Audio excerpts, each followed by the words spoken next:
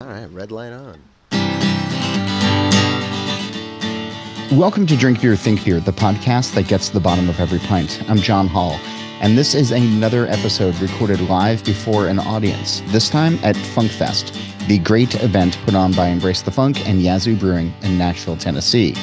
In just a moment, I'll be joined by Phil Wymore of Perennial Artisan Ales for a conversation about stouts, barrels, condiments, and whiskey. But first, please go visit allaboutbeer.com. There you can find original articles, reviews, news, insights, and podcasts. You can listen to shows like Brewer to Brewer and the All About Beer podcast simply by searching All About Beer wherever you listen to shows. You can also follow All About Beer on Instagram, Threads, X, and Facebook at All About Beer. And to keep up with all of the smoked beer news and releases, check out This Week in Rauch Beer by searching the group on Facebook or follow at TW Rauch Beer on X, Threads, and Instagram. There's also glassware and apparel available too on allaboutbeer.com slash merch. Most importantly, this show and all of the work we do, it's supported by you. So please go visit patreon.com slash all about beer. A few bucks really does go a long way to help keep content fresh and to fund writers, photographers, creators, and editors. There's even a pro level for professional breweries out there. Please give it a look. Patreon.com slash all about beer. And if you'd like to learn more about everything that we're doing on All About Beer, this show, advertising, beyond, just ask us the question. It's info at allaboutbeer.com. So, Funkfest has become one of the great beer festivals in the country. And each year, Brandon Jones of Embrace the Funk and Linus Hall of Yazoo Brewing put together a thoughtful event filled with good cheer, great bottles, wonderful food, and fellowship. All About Beer is proud to be a media partner on this event and this conversation that you're about to hear was first held last weekend, just as the fest kicked into gear, and about 20 minutes after the last of a line of thunderstorms rolled through. So here's the introduction of Phil Wymore and the conversation recorded right from Funkfest 24. All right. Hi, everybody. Welcome to Funkfest 2024. You hardy souls who have braved Nashville in May weather and now you get extra big pours because all of the wusses stayed home today.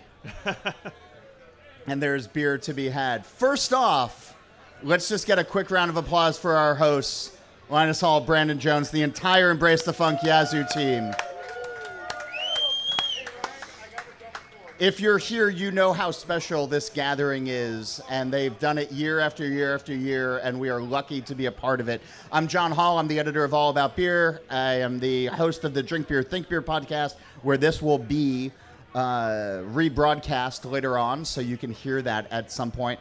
And sitting right here is Phil Wymore, who I'm going to read his official bio to you right now. He is the co founder of Perennial Artisan Ales in St. Louis, Missouri, established in 2011. And prior to opening Perennial, he spent time in Chicago as the cellar manager of Goose Island the head brewer of Half Acre, and attended the Siebel Institute. In 2021, he started Passenger Foods, a one person operation that makes Chili Crisp. And by the way, as a regular paying customer, I'm going to fully endorse Passenger Foods Chili Crisp. Uh, it needs to be on everything that you're having at home. And in 2023, he co founded Common Ritual, an independent bottler that discovers extraordinary whiskeys produced by underrepresented distilleries. Phil Wymore, everybody. That's. All right. Thanks for doing this. Oh, very kind. Thanks for the introduction. Well, you wrote it, so uh, it's. I want to go back to 2011 when you opened and those early days of what you wanted Perennial to be. And what was the original thought? Like, because 2011 was still, I, there's maybe 4,000 breweries in the country right now. We're close to 10,000. Yeah, yeah 3,500. Mm-hmm. So you were still in that sort of infancy before the big rocket ship took off. Yep. What did you want the brewery to be in those early days? Yeah, so, you know, when I was at Goose Island, we, you know, I learned how to brew a, a lot of big batches of beer, um, you know, 312 wheat ale, Honker's, mm-hmm. you know, ESB and uh, IPAs and things like that. But we had these fun little projects going on where we were, um, you know, well, one that was before I started there called Bourbon County Stout. Yeah, it, uh, people have heard of it. Yeah. relatively small at that time. Uh, we maybe had hundred barrels of it, um, hundred whiskey barrels of it, um, and it was you know in four pack, twelve ounce bottles collecting dust on the shelves at Benny's, and um, Those early days, there wasn't that that hype that there is now, or that that hype that there was for a while. I feel like now you can walk into Benny's and still now see dusty bottles of it. Yep. Okay. Yep. It, yeah, exactly. Um, but those are the days too where you could buy Cantillon on the shelves as well, and you know Uh. Pappy Van Winkle and Yeah. uh, all, all kinds of uh, yummy things, you know. Um, but we started when I was there. I, I was there at a really really great time because um, you know we had Matilda, which is sort of like a a, a nod to Orval. Uh-huh. Um, but beyond that, you know, we weren't doing at the time uh, at Goose Island. We weren't doing any uh, you know barrel aged sour type beers like the, this festival uh, you know really likes to highlight. And um, so we were kind of at the genesis in, in that generation of brewers, uh, you know, where Greg Hall uh, allowed us to, to really rip on those and encouraged it and, you know, open up the budget for it. And uh, he was really inspired by, uh, you know, Rodenbach and, and, and other, um, you know, awesome Belgian breweries and Things that to, needed time. Right. Yeah. Yeah, and he- he and really- hence the expense and the budget. Yeah. Exactly, and the, yeah, and the space, right? And you know, Yeah. space is pretty precious in Chicago, and and Goose Island was really expanding a lot at that time too. Um, but he did, you know, allow us to uh, to to have these little experiments, you know, like Sophie and Madame Rose, and and I was. Uh, Madame Rose is inspired by Rodenbach, and that's something that, that Greg really wanted to make, and he, you know, asked me to uh, take a run at that, and uh, so that was you know really cool experience for me, and allowed me to like you know learn something that uh, really wasn't accessible to a lot of uh, people that are getting jobs at breweries that are just churning a lot of the same stuff. And I'm, I'm something is like uh, fuzzing in the back of my brain right now. So Madame Rose, and then there's Sophie. So Rodenbach, Orval. There's the Four Sisters. Is that? Mm-hmm. Okay. Yeah. What were the other two? I wish I uh, could answer that question, but probably have to ask Greg. and this is why we don't do rehearsal. yeah.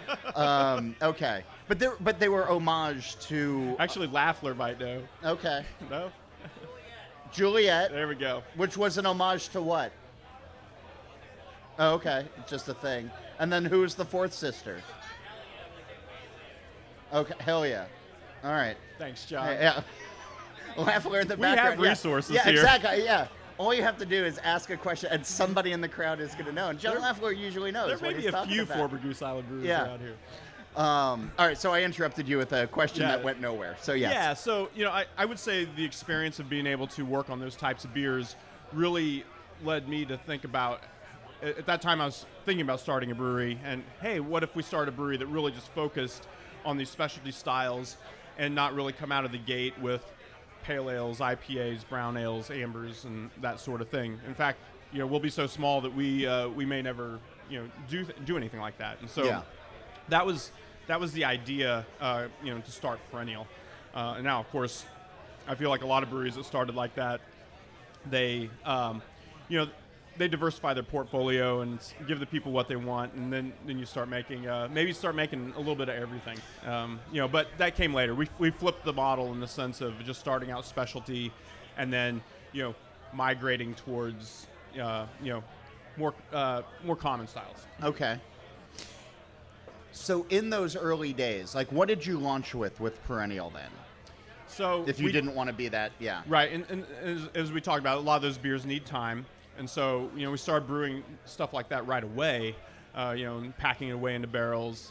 Um, but you know, we knew we had to really get out there with beer immediately and something that was um, you know lower ABV. So what we did was we just basically launched with um, a few uh, you know highly drinkable Belgian style ales. Okay. so we started out with a beer called Hommel beer, which is an homage to uh, Poperings Hommel beer. And then we also, uh, so you know, basically a, a Belgo-American pale ale.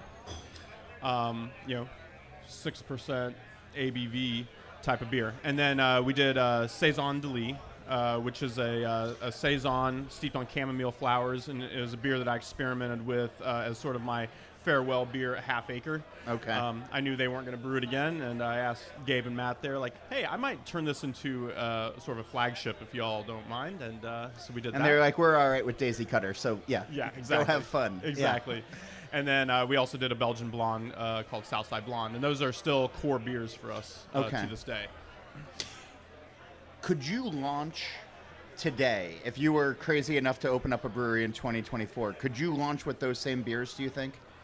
I don't think so. Um, I mean, I, I mean, you can try, but I, I, I feel You'd like, like to, but yeah, yeah, I, I don't feel like it's as novel now. I, I, I mean, I can think of other breweries that started around the same time that we did that had similar ideas, like you know, like Brewery Vivant, for instance, uh, and I'm you know failing to remember some some others, but you know, it, there, other other people had similar great ideas at the time, I think, but now I, I, I feel like beer has shifted into a uh, give the people what they want a little bit. Um, I mean, even with uh, you know these types of beers that we're celebrating here today, unfortunately, I, when I'm having conversations with brewers around the country that, that are known for that, you know, a, a lot of us are making uh, less of it than we were uh, before. Sure. Um, all right, before we go any further, uh, our wonderful volunteers have been walking around pouring beers for folks in the crowd. Uh, what are they drinking? What did what did you bring to special pour during this talk? So we brought two cases of uh, Vietnamese barrel-aged Abraxas. have some? And uh, so this beer differs from our uh, normal barrel aged Abraxas. And well, one, this this has coffee in it, Vietnamese coffee, um, and you know, just to kind of discuss the uh, the idea behind it. Um, this was uh, this was brewed in collaboration with Clag Brewing, which is in Sandusky, Ohio, and uh, that is uh, the owner there, Ka Bui. Um, his his brother An, uh, is famously known for uh, Mekong and the Answer Brew Pub in Sure. Richmond. Yep. Um, so, you know, they're both Vietnamese, and uh, you know, Ka wanted to uh, wanted to have a barrel aged Abraxas that had a Vietnamese spin on it, and so he selected some Vietnamese coffee uh, for us, and then. Rather than the the, uh, the typical uh, cinnamon that we use for barrel aged Abraxas, we use Saigon cinnamon in this, which has a stronger flavor. And then um, we also use Indonesian uh, vanilla beans in this. Couldn't find Vietnamese ones, but uh, I was trying to get as close to the region as we could. So, um, Geographically, it's, yeah, yeah, yeah. it works. yeah. Um, this is delightful. Thank this you. is.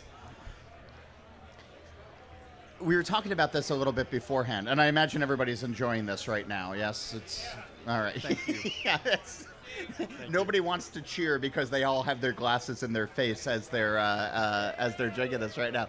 Um, but Abraxas is how I feel like I came to know your brewery early on. So you're making all of these everyday beers, let's call them, and in an era when everyday beers were starting to take off and everything. But you and a handful of other breweries had these big stouts, these 750s, these getting into the cool beer shops, the cool beer bars, uh, exorbitant prices that nobody blinked an eye at, at paying at the time, kind of thing. You had the Goose Island background, so you knew the potential for some of these. What was the beer? What was the barrel aged beer that sort of kicked you up to that next level? Like as you know, 3,500 breweries when you opened. Within a couple of years, it was five, then 7 mm-hmm. and now ten, kind of thing. But in that era, when Abraxas was, holy shit, I have to get this. What was your first experience like realizing that you had something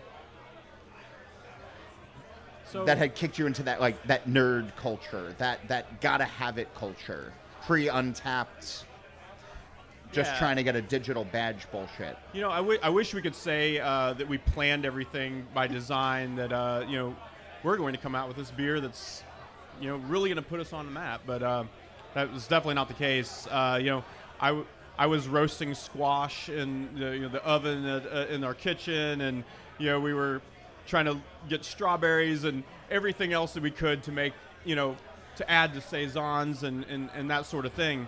And then um, we decided to uh, crowdsource a little bit some ideas. And at, at that time, uh, you know, we had a blog uh, back when you know my fingers worked.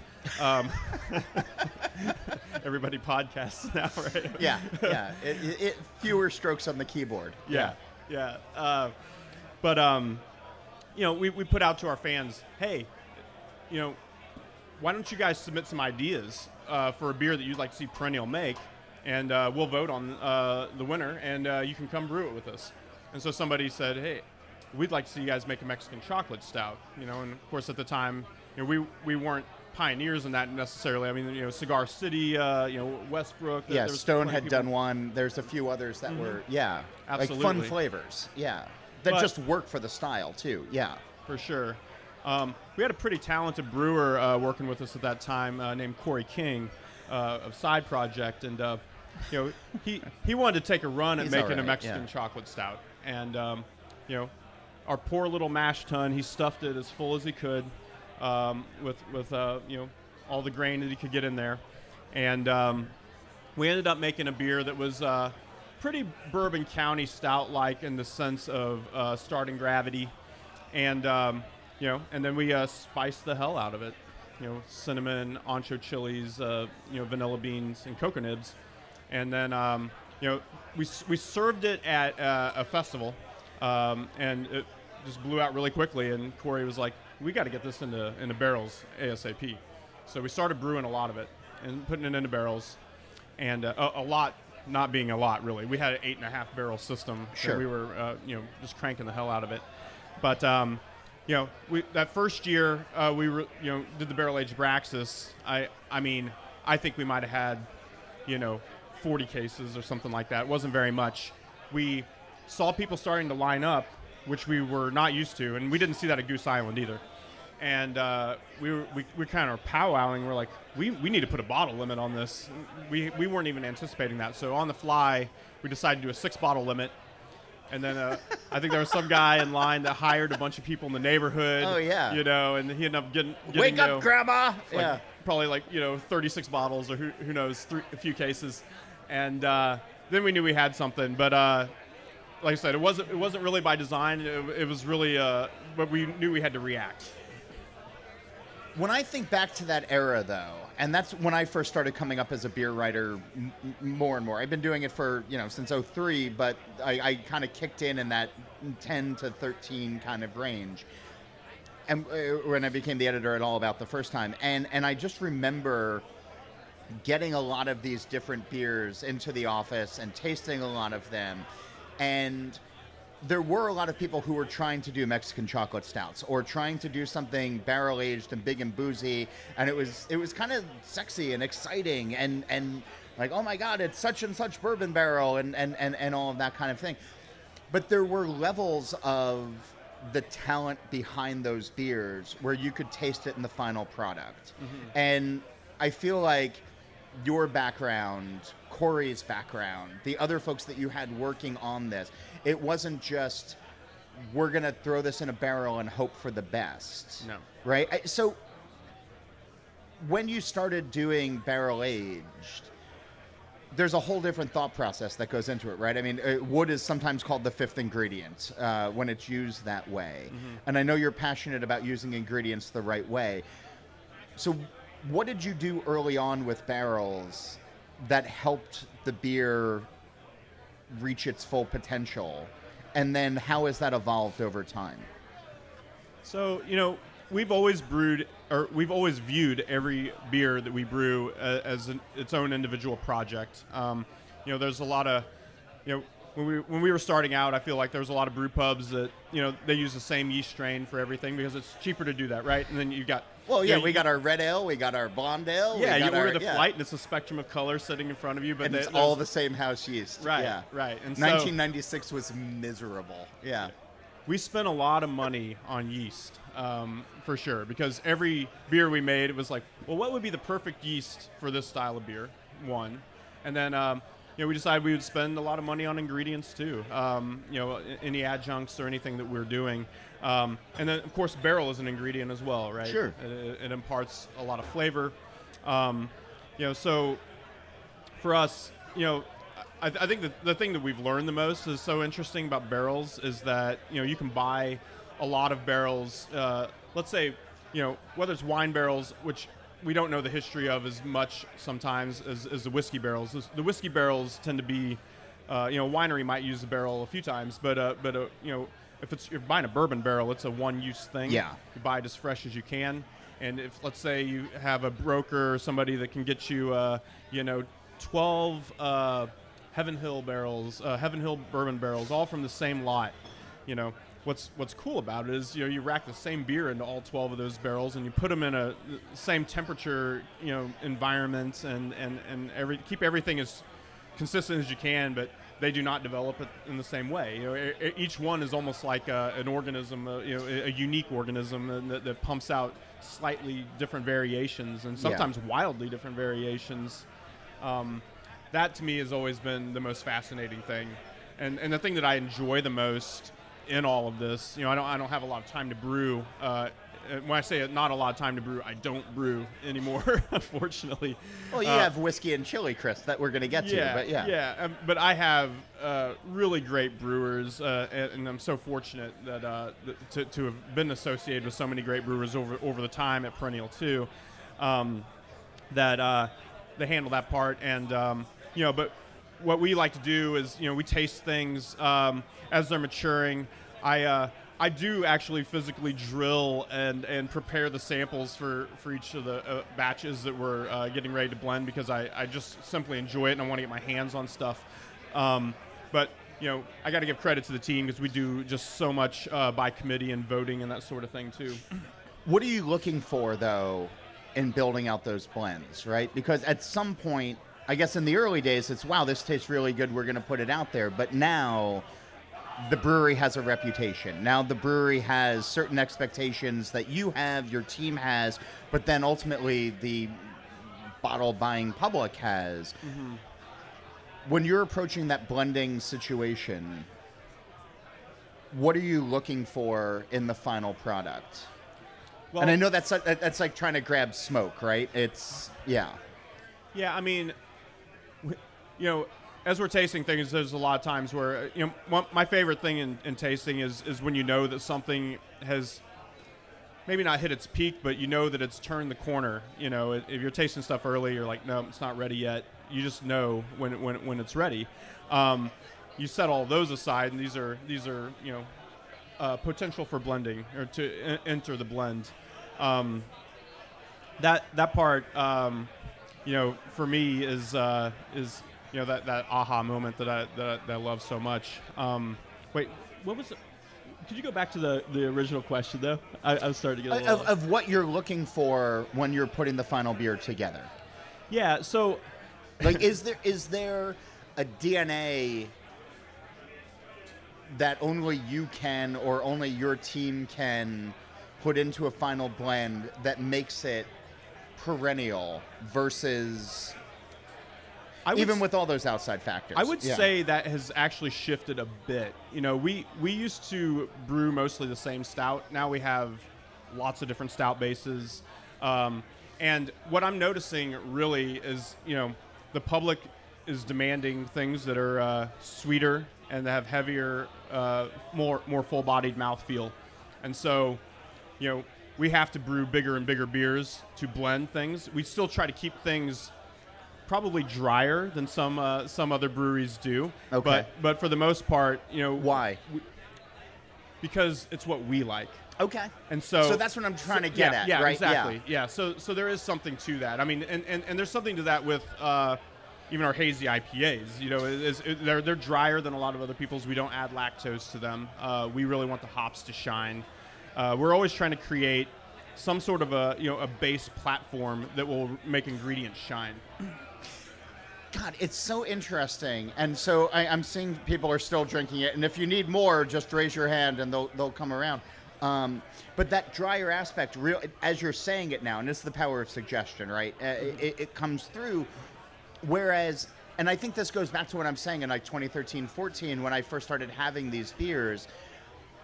A lot of them were overly sickly sweet. Yep. It was, well, I'm just going to take a, a bottle of Hershey syrup and I'm just going to, you know, take the squeeze cap off and just mainline it. and and you know you could feel your teeth rotting out. Your beers never had that, and that dryness.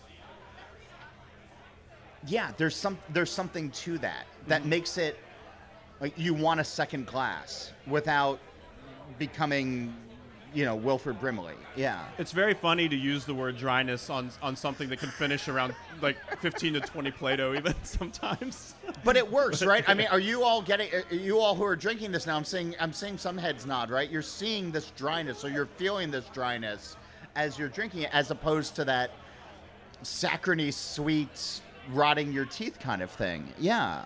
Yeah, balance is always um, the, the main thing. And, you know, it's like even like you know, in, I'm making chili crisp or anything like that, you know, Yeah. it's, it's got. It's We're be- gonna talk about chili crisp. Just seasoned, chill out, seasoned yeah. perfectly, right?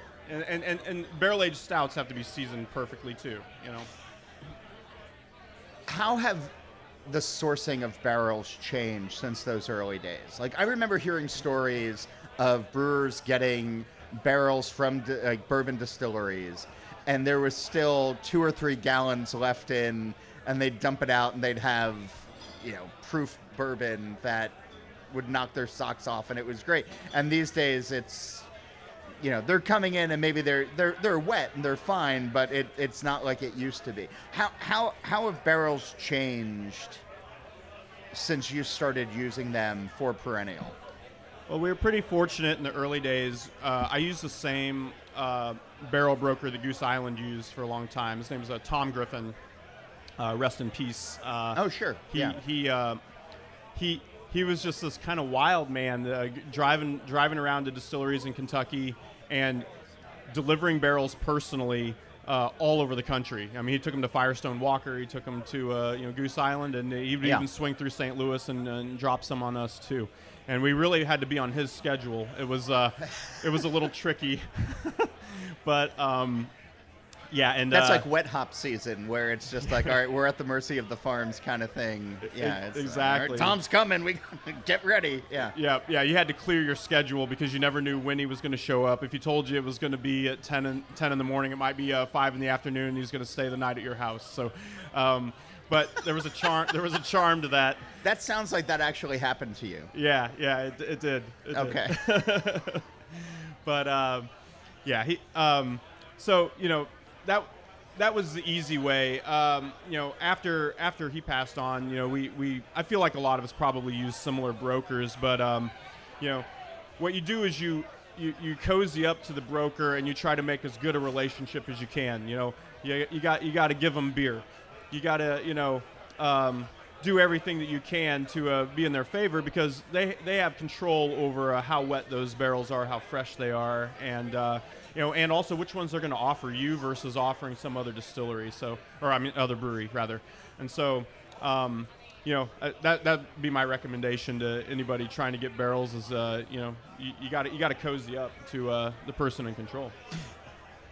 But has the quality of barrels changed? Has the because everybody's got a barrel program now. Like I walk into somebody who's been open for a minute and a half, and they're like, "Oh, here's our barrel program," and I'm like, uh, "All I, right." I feel like, the quality is really high still. Okay. I mean, uh, because whiskey's on fire, and, and, Sure. and so you know barrels are getting dumped at, at, at such a high rate.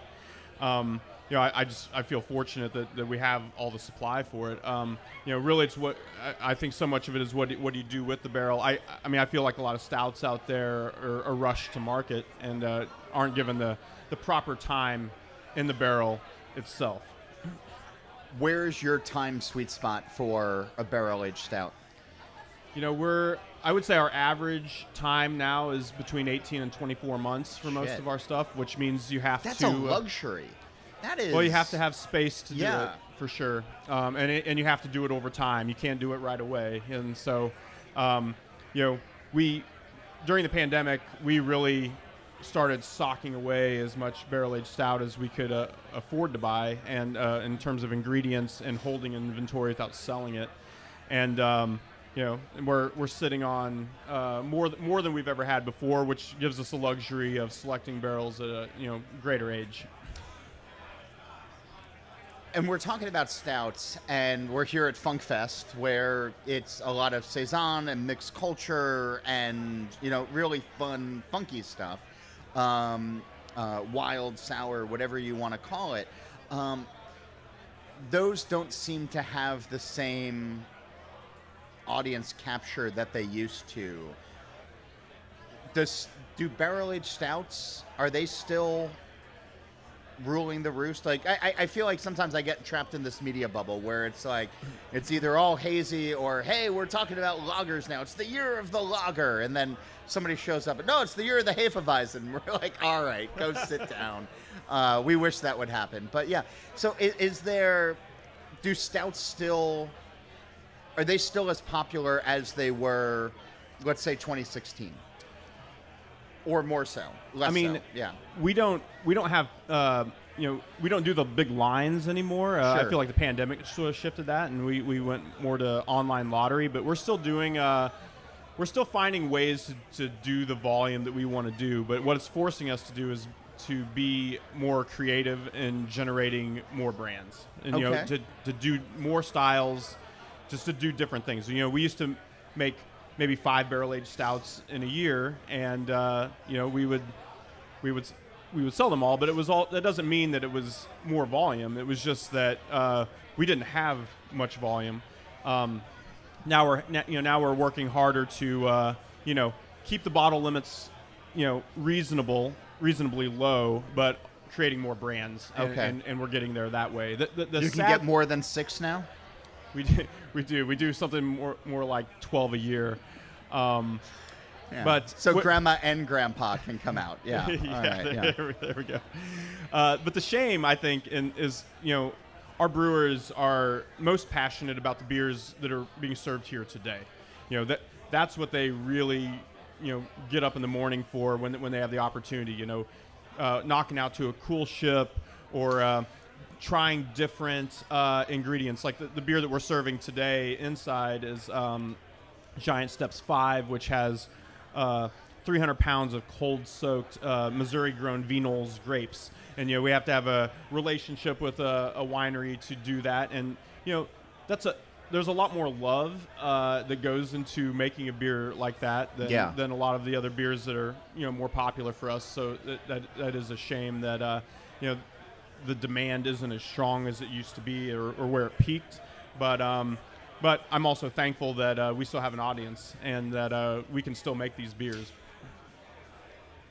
Last question on beer barrels before, or barrels for beer before I move on to other things. But how much does the provenance of a barrel matter? You know, like because sometimes people are like, "Oh, it's a Pappy barrel, or it's a Heaven Hill, or it's a Four Roses, or it's a whatever," and we know these brands, and we're going to be like, "Okay, if I like that bourbon, uh, this beer is for me because it's been aged in that." But from a brewer standpoint, how much does the whiskey that was previously held in that barrel matter at the end of the day? You're looking like like like motherfucker. Why are you asking me this question? I think it's a Yeah. great. I think it's a great question, but it's it's a clever question too, uh, because you know if you if you're making you know I, I filled the uh, hundred Bourbon County Rare uh, barrels at Goose Island, Sure. uh, and uh, you know that that beer is so sought after because it went into uh, Pappy Van Winkle barrels, Sure. right? Um, was that the best Bourbon County stout ever? Not likely, um, but you know it's there's a lot of marketing pull Sure. on, on what barrels you use, and, and we like to tell people uh, what barrels we use, and we like to get our hands on the the, the, the craziest barrels we, c- we can get. But at the end of the day, you know, it's I I think when you're putting something like a you know 30 to 40 Plato stout in it, you know, it's I, I I think I think the provenance matters. I don't think that uh, I would rank them in, in, in the order of uh, whiskey quality to uh, what what comes out uh, Yeah. product wise, you know, for the for the beer itself. And there's so many variables go into that. Like like I said, some people might get their hands on something like that, and then they might knock a stout out in uh, 10 to you know 12 months, and it's uh, would have would have been way better if they would have left it in there for another six months. So who Yeah. knows? All right, so let's talk about common ritual then, and what you're doing with that brand, that umbrella, Mm-hmm. and yeah, like I, Yeah, and well, I and- feel like this is the time and- for your and- TED talk now. And yeah. well, and this, You brought chili crisp too. oh my god! I, I- am just seeing this on this the is floor. a We're going to talk about for it. you. Oh god, thank you. Um, oh man. Well, I think a good good way to bridge that conversation is to you know talk about um, the uh, you know the craft distilleries that, that we're working with and, Yeah. and Common Ritual. I'm really excited to see what kind of stouts come out of some of those barrels because I think that you know the Common Ritual. Uh, we you know I started that uh, with with a couple of friends um, about six months ago, and uh, our idea was to uh, highlight underrepresented distilleries. You know, distilleries that are making really awesome whiskey that I think are slept on, and um, you know, uh, when when we start knocking out more of those barrels and we can put perennial stout in those, I'm, I'm really excited to see what comes out of those as well. I, I figured there had to be a synergy on there, Mm-hmm. but can you dive into a little bit like what is an underrepresented distillery? Like what like what does that? I, I kind of have an idea, but Mm-hmm. I want to hear it from you. Yeah, I think there's uh, there's a few categories here. I mean, it could be, well, they're small and, and not very well known, um, and and in some cases we're working with some folks like that. Uh, there's there's also some some distillers out there that are doing farm to glass, which I, I think is so cool. Growing uh, say growing all their own rye and, and making a rye with it. Um, there's also uh, distilleries that are women led and, and led by uh, people of color, and uh, we're, we're trying to work with as, as many of those as we um, can as we sort of build the relationships and grow our portfolio too. Um, I, you know, we, we whiskey for us in, in our view has been uh, inclusive uh, somewhat over the years, and uh, you see it a lot in a lot of the marketing and, and branding. Um, you know, putting old old white bearded men on on labels or uh, you know Yeah. deer antlers or or or whatever i don't know i don't well i don't know if that what that conveys necessarily but but Uh, you know, We all like Evan Williams. It's fine. Um, yeah. but uh, you know there's there's a lot of other folks out here that that, that are so talented and they're making they're making great stuff. And, and in our view whiskey is, whiskey's for everybody. And whiskey can be made by everybody. And um, you know we're we're trying to explore that angle. In some ways it sounds like those early days of like 2011 craft beer of you know people trying to hit people trying to get out there a little bit more but then it also sounds like it's a little bit harder for whiskey brands to break out maybe in the way that you did with perennial in those days is is that accurate Yeah, the I mean the shelves are certainly uh, crowded. You know, if you go to a, a, a liquor store, you know, your your eyes glaze over a little bit looking at all the all the brands out there. Um, another way that we were trying to differentiate is that there's if you look at the shelves and, and you really deep dive and do the research, you know, most of the whiskeys out there is coming, you know, coming from like six distilleries, uh, you know, dominating the shelves in terms of the labels that are out there. And, uh, you know, there's a lot of people that are, you know, sourcing from uh, MGP and putting their label on it. And, that, and there's Sure. nothing wrong with that. But we didn't want that's our the southern indiana facility that has a lot of bourbon that sells specialty labels to people yeah Correct. Correct. Yes, exactly. And you know, we don't want to taste like everybody else. We want um, a lot of variety, and, and and in fact, that's why we're not even only working with just one craft uh, distiller. We're going to continue to work with as many as we as we feel that are doing great stuff and that represent our values, and um, you know, and and who knows where it will go in terms of branching out, but. I'd love to eventually be a, spot where you know we're working with you know 20 to 50 distilleries. Who knows?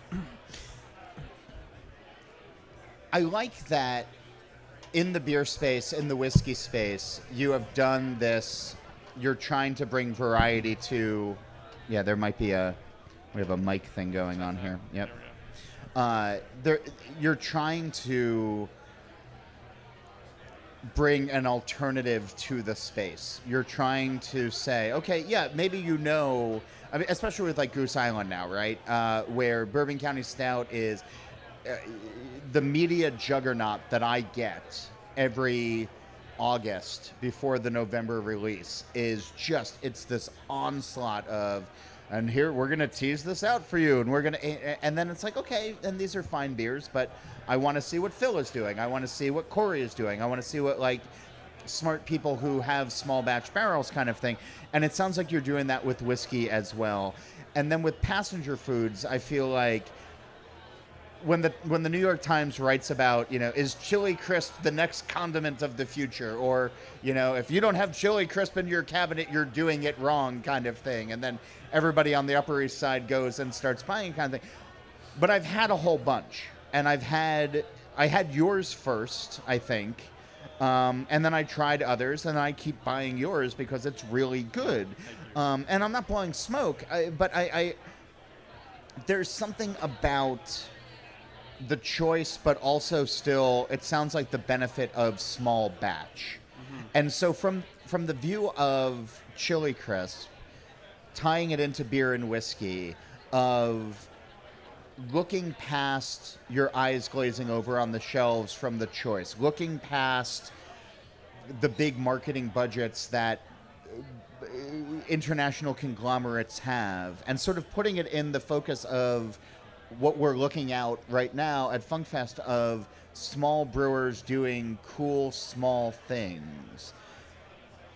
Where does Chili Crisp, where does Passenger Foods fit into all of that? But then, I guess ultimately, like your entrepreneurial spirit fitting into all of that.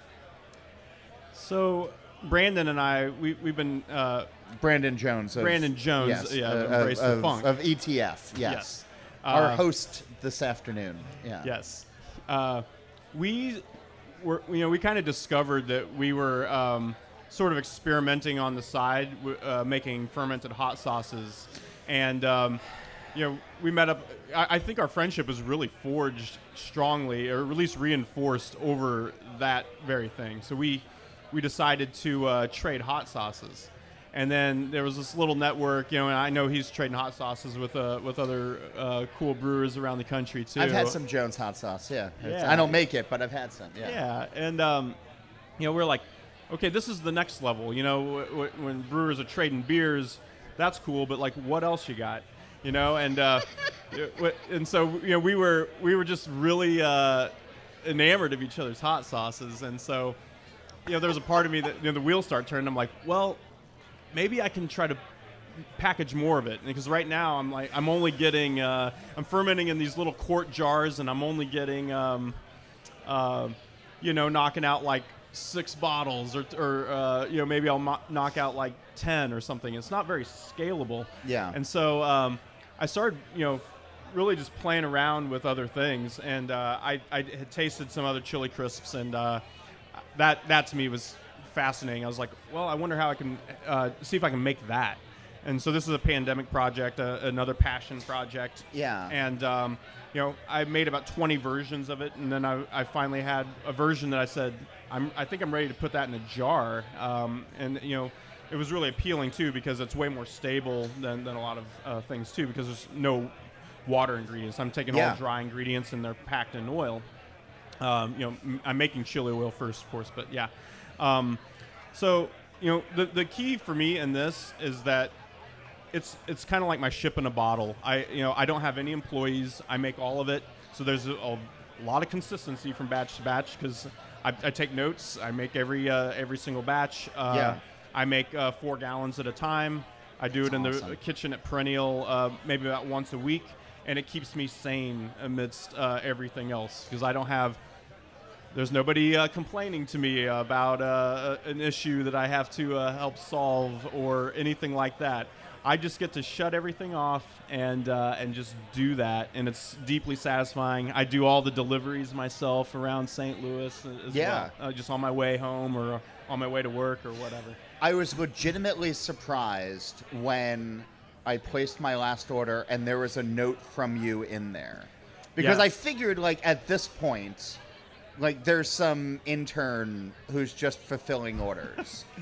Nope. and I, I- I, was- like, oh, this is really nice. And then, you know, I threw it on some eggs. Yeah. Yeah, no, I, I, I write a personal note to anybody that I recognize that places an order uh, through Passenger Foods' website because I do all the fulfillment. And uh, yeah, and people kind of get a kick out of that. I'll, I'll, I'll see people post on social media like the note that I wrote them on the inside of their box, and uh, Yeah. I, I think it's kind of a cool thing. So to that entrepreneurial spirit, and, I, and I'll leave it here uh, with th- with this on you. It's for a long time in the beer space, right? And in those 2011 days, it was how big can you get, and who's going to eventually buy you one day, or are you're going to pass it off to the kids, or you're going to do all of that. I feel like what you're doing with beer, with Chili Crisp, with whiskey, is staying true to those early roots of being small, being entrepreneurial, being thoughtful in what you're putting out to the world. Mm-hmm. And there's going to be people who are like, well, yeah, but don't you want to make more money? Don't you want a bigger house or an even nicer car than what you have or like whatever kind of thing? It, it, it seems to me that like you're just finding personal satisfaction through business satisfaction or business efforts by just following creativity where it speaks to you when it speaks to you. Is, is, is that true? That is, yeah, that's true. I mean, you know, I mean, I, you know, our big leap at Perennial was to uh, go from an eight and a half barrel system to a 15 barrel system. Whoa. You know, and uh, I'm, I'm glad that we were do that because we Well, were able sure, to do that because yeah. we get more beer out to the world. But um, we never really had aspirations of growing into a, you know, a, a 30, 50,000 barrel a year brewery, uh, and and no. Uh, uh, shade to anybody that does because I'm friends with a lot of people that have done that, and I, and I, I love I was going to say, look around the room. yeah, but yeah. anybody that's you know following their their path to success is uh, you know we all have a different idea of what that is. Um, you know, for me, yeah, I, I'm a little whimsical. Uh, you know, once I get an idea, uh, it's it's a cool challenge to say, can I take this idea and manifest it into reality, and uh, and will it bring value to somebody? Well, it, yeah, I'm really passionate about creating things that people enjoy, uh, and you know, I'm glad that we all have the same vehicle, which is business, to uh, you know express these kinds of uh, intentions. Um, but for me, being a businessman has never meant uh, you know being fabulously wealthy or uh, clawing my way to the top or anything like that. It's it's really uh, I it puts a grin on my face when somebody uh, enjoys something that, that I've created or something that my team has created uh, at Perennial, for instance, uh, or enjoy something that somebody else created that I can show them uh, who made it, like I'm doing with Common Ritual Whiskey. Is there something else on the horizon now? Is there something that's tickling the back of your brain that you're getting into next? Or are you happy with where you are right now? Yeah, not yet. I mean, Common right. Ritual is six months old. Um, right. It really needs focus and attention, and uh, I do want to grow it to uh, some level. Uh, I don't know what level that is. Um, not too concerned with that, um, but I want to get it out to the world a little bit, uh, or my little neck of the world even. Um, and uh, you know, we'll see. I have a feeling that it's not my last chapter, um, but it is one that I, I need to uh, express. I like that. Thanks for doing this. Thanks for being here. Um, I have two more talks after this, and Vietnamese coffee, Abraxas. I, I feel I might need to tap in another host for the third show at this point. I'm feeling it behind my eyes at the moment. Hey, this is Phil Wymore, everybody. Thanks so much, John. Th- thanks for listening. Again, guys. my big thanks to Brandon Jones and Linus Hall at Yazoo Brewing for all they've done for beer through this festival and through their efforts every day. And I'll also point out that we're big fans of festivals with an educational component. So if you'd like to talk with us about all about beer, doing programming at your brewery's festival, pre- please reach out to us. You can do that by emailing me. That's John Holl, J O H N H O L L, at allaboutbeer.com. That's also the email where you can get in touch with questions, comments, or guest suggestions. And a reminder go visit allaboutbeer.com, or you can check out the podcast page, the merch page, and read great new content, as well as the archives that go all the way back to our founding in 1979. Follow All About Beer on social media at All About Beer. And if you're interested in supporting journalism in the beer space, and I hope you are, please email us at info at allaboutbeer.com to learn more, or simply go to patreon.com slash all about beer.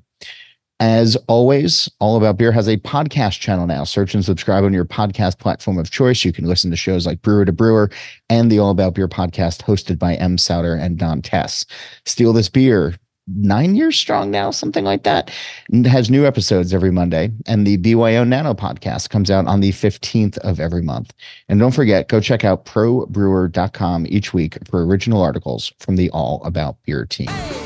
As for this show, Mitch Weber does the music, Jeff Quinn designed our logo, and I'm John Holl. New episodes release every Wednesday, and that's when I'll be back again to drink beer and to think beer.